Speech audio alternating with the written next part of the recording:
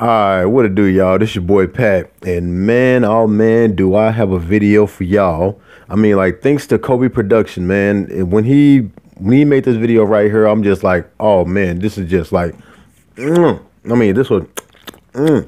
this was delicious, man. This was finger licking good. This was almost, almost as delicious as Modern Medusa's last tweet. And to that, I just want to say, Medusa, I love you.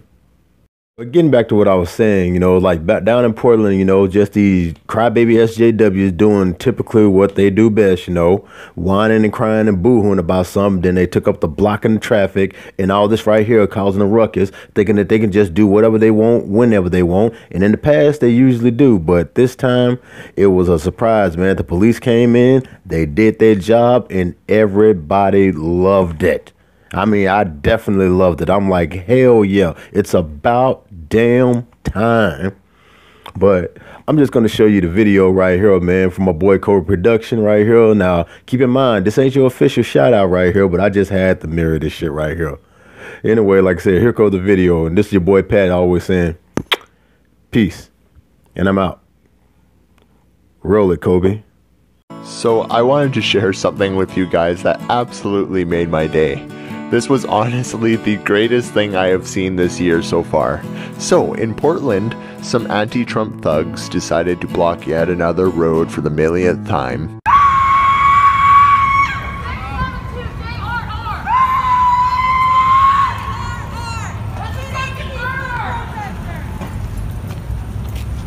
This has been pissing me off ever since they started doing it because not only are they blocking people from getting on with their day, you know, something that makes people not give a shit about your cause and hate you for impeding on their life, but they have also blocked ambulances from getting through, which is utterly disgusting.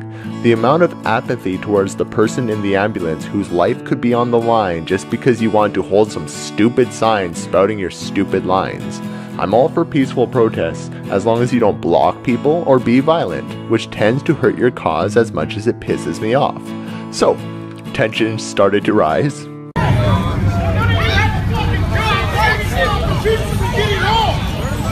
Hey,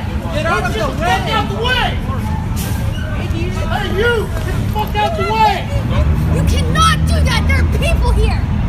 This is serious!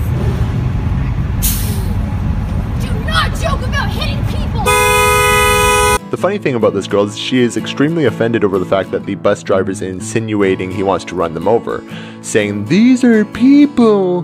But I bet she, like many of them, approved of someone punching Richard Spencer. Also, she's blocking roads with people and probably wouldn't mind blocking emergency vehicles. Cognitive dissonance much? Then comes the most beautiful moment I have seen this year. Oh, here comes the SWAT team. The police, suited up in riot gear, come charging in. Get them!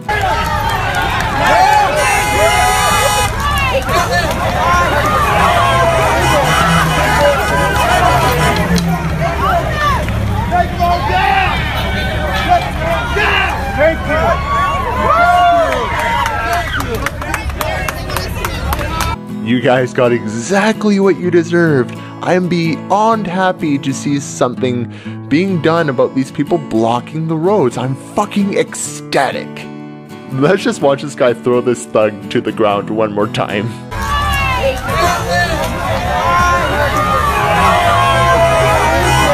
Oh, it's so good.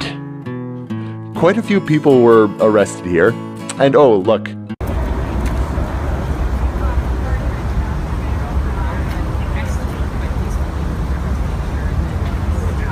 Look at the hair color. Why am I not surprised? We've got some frosted flakes over here. So I want to share this to show that people and the police have had it with your constant blocking of roads. It's time to get exactly what you deserve for impeding people's lives and blocking emergency vehicles. Get a job. What do you guys think? Does this video not make you as giddy as it does me? I think I'm going to watch this on repeat all day.